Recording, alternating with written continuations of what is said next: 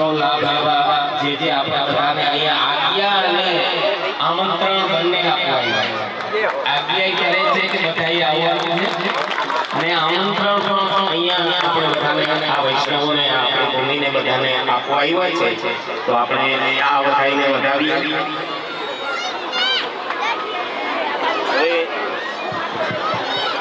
આ છપ્પન ભોગની તારીખ છે પહેલી જાન્યુઆરી બે હજાર ત્રેવીસ દસમ અને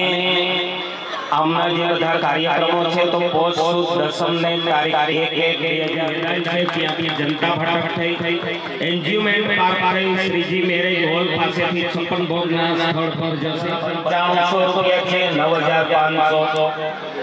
શ્રી ગોવર્ધનનાથ કી